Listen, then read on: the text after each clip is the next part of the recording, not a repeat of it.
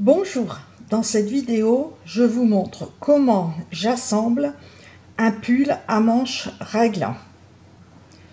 On me le demande souvent et là je vais le faire avec précision avec un petit modèle en papier. Pour tricoter, on rabat au début du raglan deux ou trois mailles.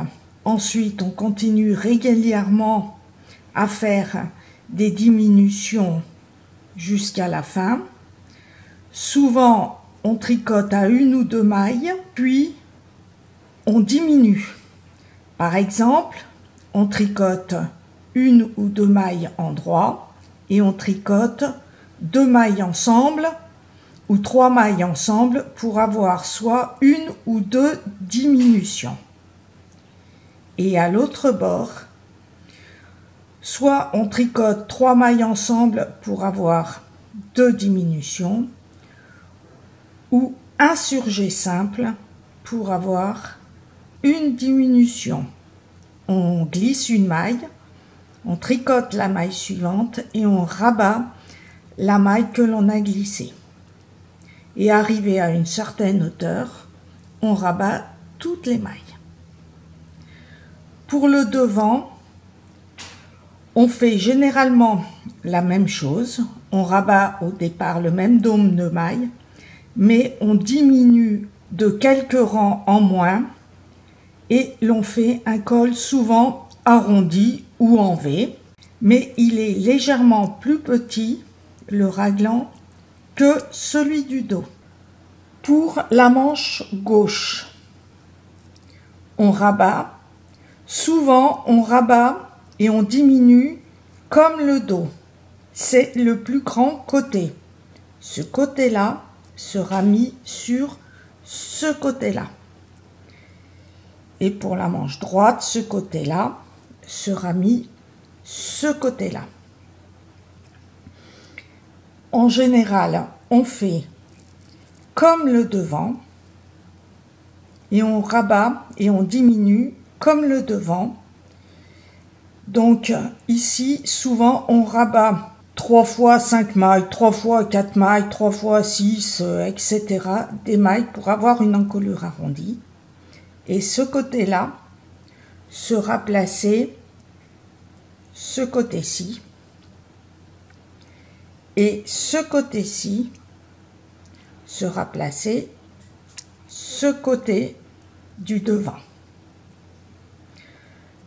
Je vous ai mis tout en vert parce que souvent le raglan pour avoir une couture invisible, je couds à point arrière pour avoir une couture solide et indéformable.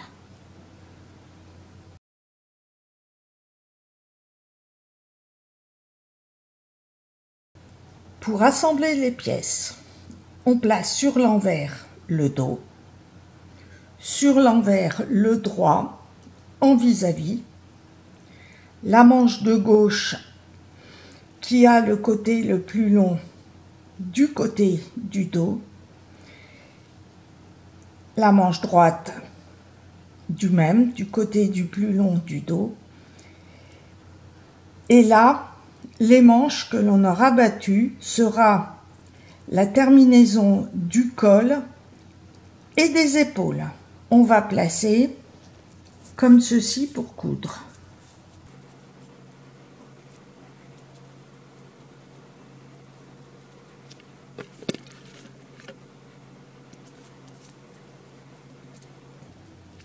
Alors j'ai pas bien fait mais mes petits papiers. Donc normalement, voilà, j'essaye de mettre comme il faut.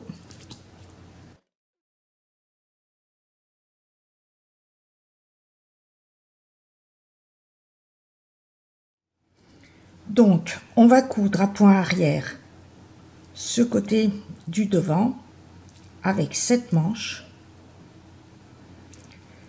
le dos avec cette manche et on va coudre à point arrière.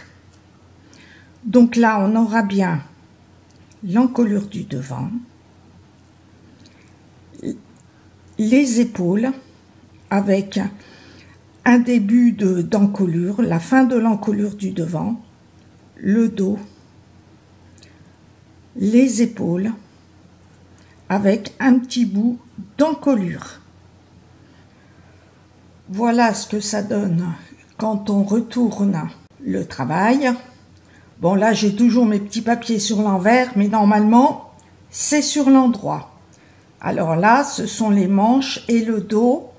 Et voilà l'assemblage du devant. Alors j'ai toujours mis, gardé mes papiers sur l'envers, mais sur l'endroit, cela donne la même chose. J'espère que vous avez compris mon assemblage. Merci et à bientôt